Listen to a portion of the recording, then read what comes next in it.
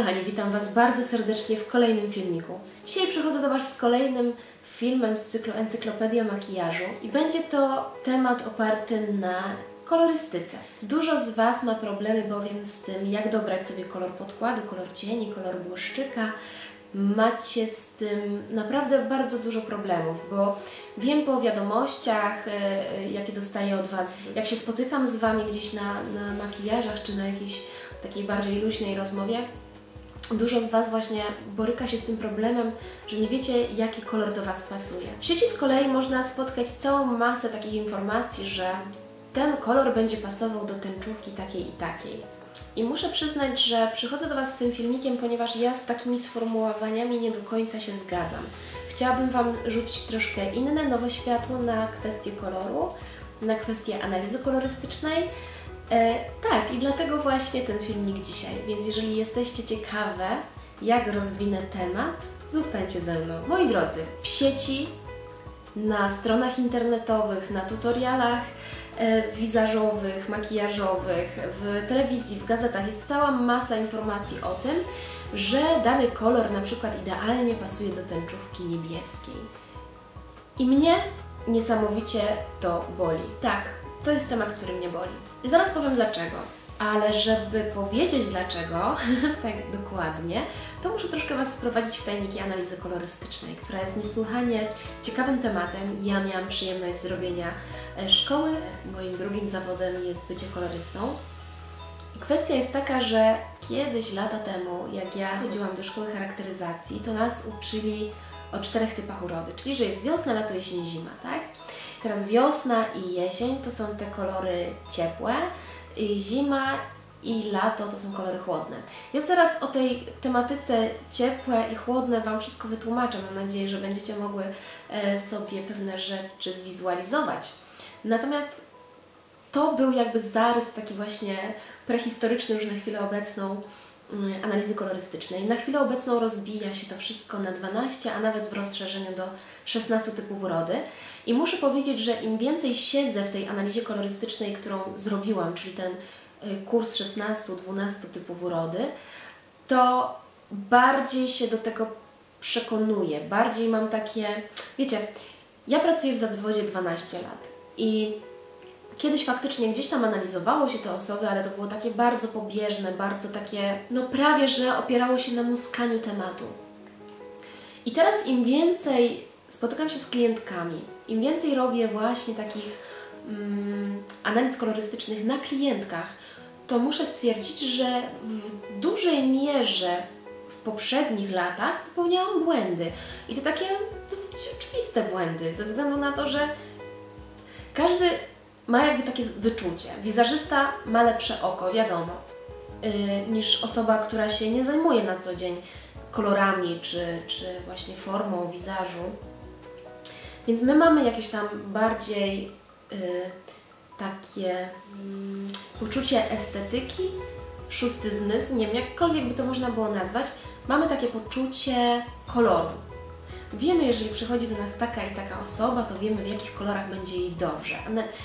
To nie odbywa się na takiej analizie, jaką ja przeprowadzam w domu, czyli że robię analizę kolorystyczną, gdzie wyszczególniam klientce dokładnie kolory, w których ona może chodzić. Tylko to jest raczej takie na zasadzie intuicji, na zasadzie takiego pierwszego wrażenia. Mniej więcej tak wizerzyści właśnie do tego całego, do tej całej sytuacji e, podchodzą. I faktycznie mm, ja na tym bazowałam przez długie lata. Natomiast potem, jak zrobiłam tą szkołę, to dostałam olśnienia. Patrząc na moje prace z poprzednich lat, a mając tą wiedzę, którą teraz posiadam, zauważam taką kwestię, że w pewnych makijażach można by było zrobić coś lepiej pod względem kolorystyki. Nie mówię o formie, ale chodzi o sam kolor. Bardzo ważną kwestią jest to, żeby wiedzieć tak naprawdę, jakie są zasady, żeby dobrać odpowiednie kolory. Analiza kolorystyczna nie jest łatwą sprawą. Tutaj wchodzi w grę bardzo dużo różnych rzeczy, ale o tym za chwilkę. Najpierw porozmawiajmy o kolorze. Kolor nie jest taki łatwy, jakby nam się mogło wydawać. Bo żeby określić jakiś jeden kolor, to musimy znać jego trzy wartości. Gdybym chciała powiedzieć, że w zeszłym tygodniu, czy tam wczoraj, dzisiaj, wszystko jedno kiedy, kupiłam sobie bluzkę zieloną to nie jesteście w stanie powiedzieć, jaka to jest zieleń, prawda? Mamy zieleń trawiastą, mamy zieleń butelkową, mamy miętę, która też jest zielenią. I tutaj są pewne rzeczy, które pozwalają nam, pewne wartości, które pozwalają nam dokładnie dowiedzieć się, jaki ten kolor był. I to są właśnie te trzy atrybuty. Pierwszy atrybut to jest odcień. Odcień może być albo ciepły, albo zimny. Ciepły to jest ten, który ma w sobie dużo żółtego, tak? Czyli żółty to jest ten kolor bazowy i jeżeli patrzymy na kolor i widzimy w nim słońce, to znaczy, że to jest kolor ciepły. Kolory chłodne to są te kolory, które mają więcej bazy niebieskiego. Nie oznacza to jednak, że kolor niebieski nie może być ciepły, a kolor żółty nie może być chłodny. Bo patrząc na przykład na musztardę, która jest żółty, ale z domieszką niebieskiego, będzie to kolor żółty, ale chłodny. Natomiast niebieski, który ma w sobie więcej żółtego, czyli na przykład turkus, będzie kolorem niebieskim, ale będzie ciepły. Druga kwestia to jest walor. Walor informuje nas o tym, czy ten kolor jest jasny czy ciemny. Jasny to będzie ten, który będzie miał domieszkę białego, a ciemny to ten, który będzie miał dowieszkę czarnego, tak? Czyli jasne kolory to są wszystkie pastele, a ciemne to będą właśnie kolory typu granat, burgund, to będą te kolory ciemne. I trzecia, ostatnia kwestia to jest chromatyczność. I tutaj mamy kolory czyste i zgaszone. Czyste, czyli te bardzo nasycone, takie kolory bright, i zgaszone, czyli te kolory, które w swojej domieszce będą posiadać popiel, czyli wszystkie przygaszone kolory. Takim klasycznym przygaszonym jest na przykład angielski róż, który jest różem, ale takim brudnym, prawda? No i teraz kwestia jest taka, że mamy te sześć wartości. I gdybym na chwilę obecną poinformowała Was, że wczoraj zakupiłam sobie bluzkę, która jest zielenią ciepłą, czyli zieleń z domieszką żółtego, jasną, czyli wiemy już, że ma w sobie również troszkę bieli. I trzecia sprawa, zgaszoną, czyli oprócz tej bieli ma jeszcze popiel. Czy jesteście w stanie bardziej zdefiniować i wyobrazić sobie ten kolor? Oczywiście tak. Tak samo dzieje się z naszą urodą. Czyli te sześć kategorii jesteśmy w stanie wpisać jakieś osoby. Czyli są osoby, które są e, ciepłe, które jak patrzymy, to widzimy słońce. Są osoby, które są zimne, czyli są to osoby, które widzimy na przykład rodzaj królewny Śnieżki, prawda? Ciemne włosy, jasne oczy, jasna cera. To jest taka królewna Śnieżka i ona właśnie będzie nam się wpisywać w ten kanon osób o chłodnym typie urody. Następnie mamy osoby jasne, czyli takie skandynawskie, bardzo rozbielona cera, jasne włosy, jasne oczy. Osoby ciemne, czyli typ południowy, wiadomo. E, osoby czyste, czyli takie, które mają bardzo mocny kontrast między kolorem ust, włosami, skórą, wszystko po prostu bardzo mocno ze sobą kontrastuje. I osoby zgaszone, które na pierwszy rzut oka widzimy, że są takie zszarzałe. Tutaj dużo Polek jest w, tym, w tej kwestii, bo my mamy zazwyczaj takie włosy popielato-beżowo-szare, prawda? I właśnie to jest, to są te sześć głównych atrybutów. Nie będę mówić o rozszerzeniu, bo jakby te sześć dzieli się jeszcze każdy z tych typów na dwa, ale póki co nie chcę o tym mówić. Chcę mówić o, problemie, który zaistniał i właściwie jest od zawsze gdzieś tam propagowany w internecie, czyli o tym, że do danej tęczówki będzie pasował taki i taki kolor. Nie do końca tak jest, bo jeżeli mamy osobę w typie kontrastowym, to do niej będą pasować kolory kontrastujące. Czyli takie bardzo intensywne, bardzo nasycone, takie bright, intensywne, mocne kolory. Jeżeli mamy osobę, która jest w typie e, deep, czyli ciemnym, to do niej będą pasować właśnie kolory w typie deep, czyli ciemnym. Jakby tutaj wszystko się łączy jedno z drugim, tak?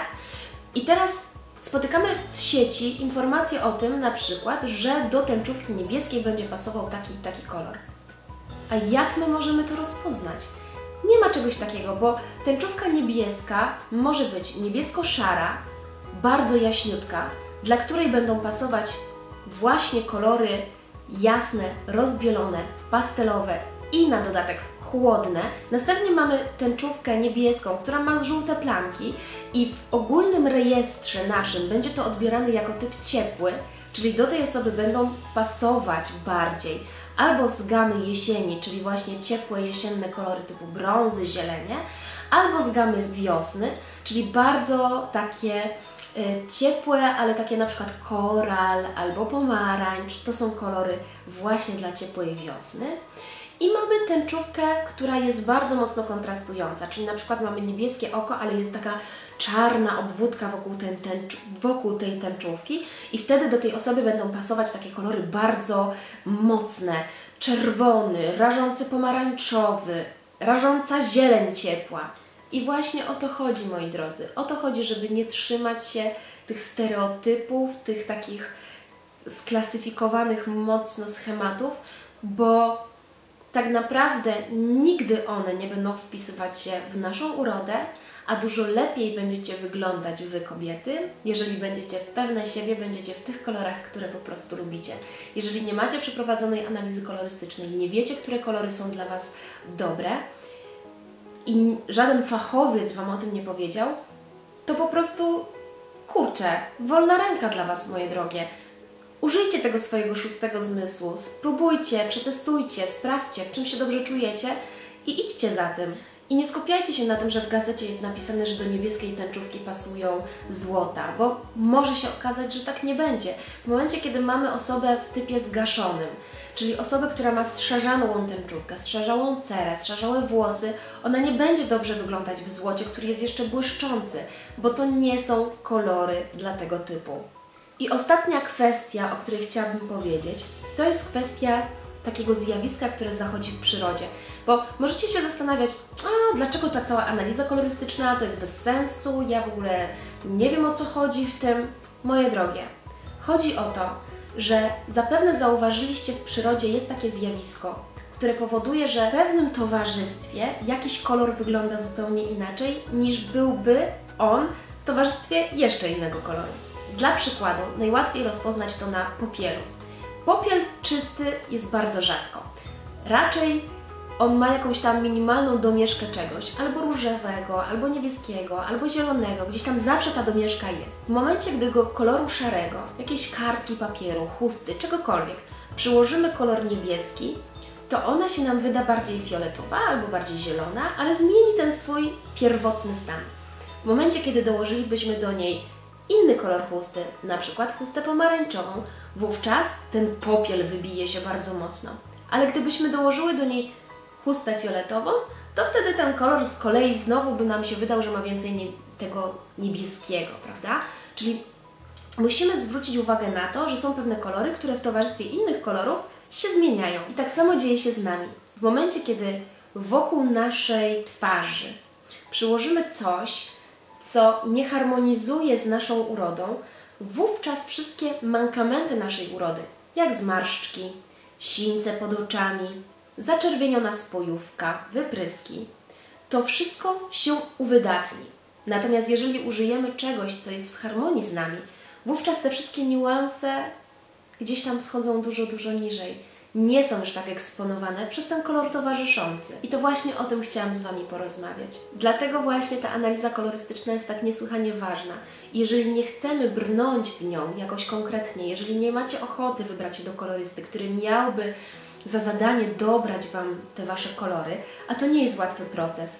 U mnie analiza kolorystyczna odbywa się tak, że przychodzi pani, siada, ja mam jasne światło dzienne, mam 120 chust, które przykładam do twarzy, na której nie ma makijażu, gdzie włosy są spięte, bo przez przeważnie na chwilę obecną farbujemy je, więc żeby nie zaburzyć tego naszego naturalnego piękna, Przykładamy te 120 chust i zwracamy uwagę na to, co dzieje się z cerą.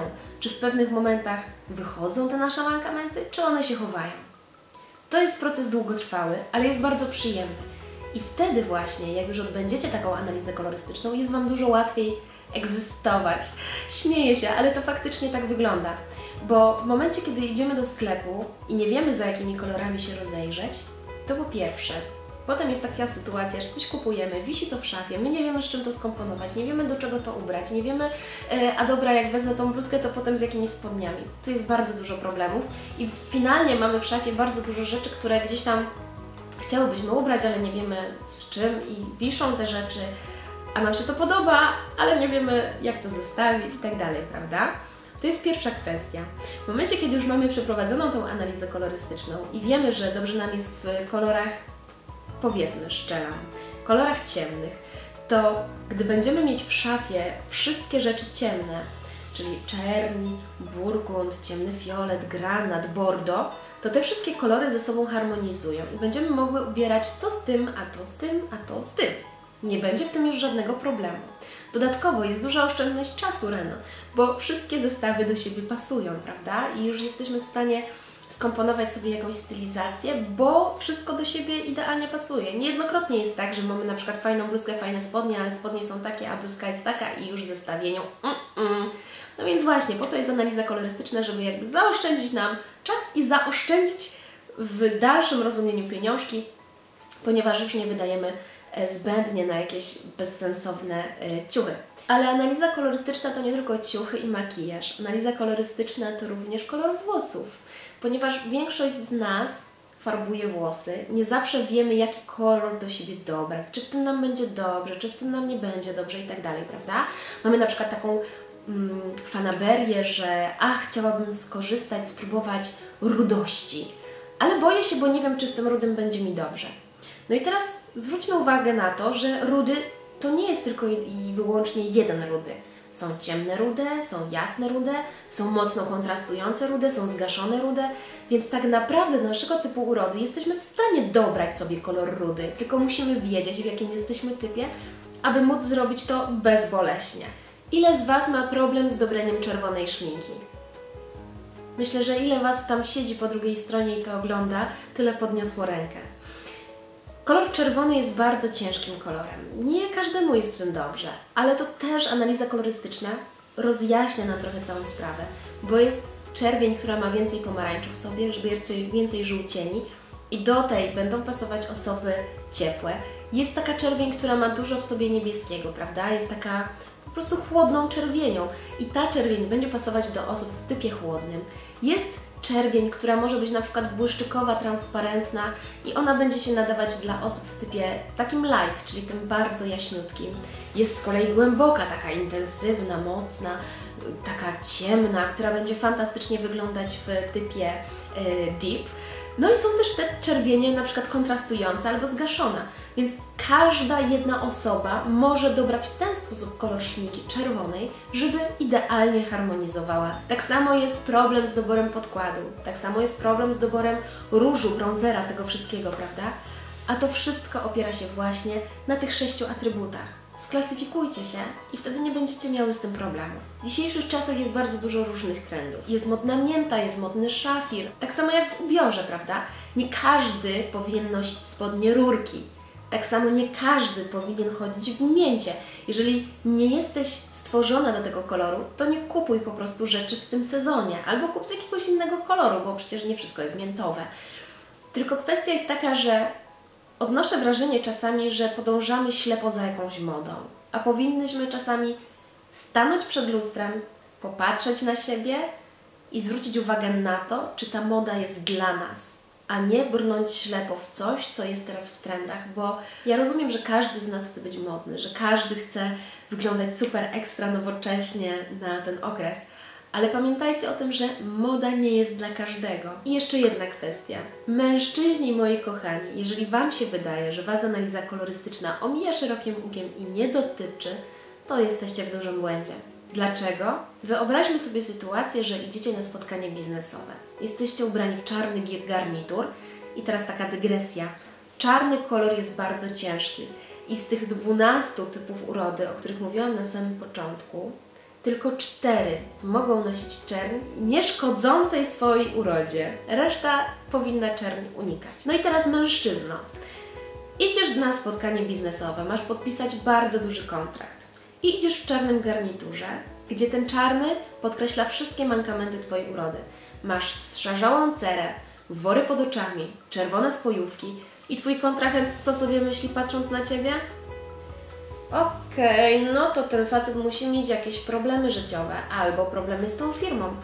Zastanowię się, czy podpiszę z nim kontrakt. Mężczyźni, my kobiety możemy ratować się makijażem, możemy tuszować te niedoskonałości, możemy tuszować te worki pod oczami korektorem, możemy sobie zrobić mm, makijaż taki, który zakryje wszystko, nie, nie, nie wszystko jednak, ale większość przypadków. Natomiast Wy niestety już nie macie tego przywileju. Tak więc naprawdę analiza kolorystyczna dla mężczyzn jest również bardzo przydatna. I tą właśnie informacją żegnam się już z Wami. Mam nadzieję, że troszkę rozjaśniłam Wam kwestię koloru i może też tego, żeby tak nie brnąć ślepo w stwierdzenia, że ten kolor pasuje do tej tęczówki albo tamten kolor do tamtej tęczówki. A jak już masz taką tęczówkę, to już w ogóle w tych kolorach nie powinnaś się malować. Nie jest tak do końca. Dobrze, kochani, to już wszystko na dzisiaj. Jeżeli znacie kogoś, kto ma problemy z kolorami albo komu ten filmik by się przydał do lepszego zrozumienia tematu, to udostępnijcie to proszę gdzieś na tablicy albo gdziekolwiek w sieci, gdzie tylko macie na to ochotę. Jeżeli filmik się Wam podobał, to czekam na kciuki w górę oczywiście, one mnie strasznie motywują do dalszego działania. No i nie zapomnijcie o zasubskrybowaniu tego kanału. Pozdrawiam Was ciepło, do zobaczenia następnym razem. Pa pa!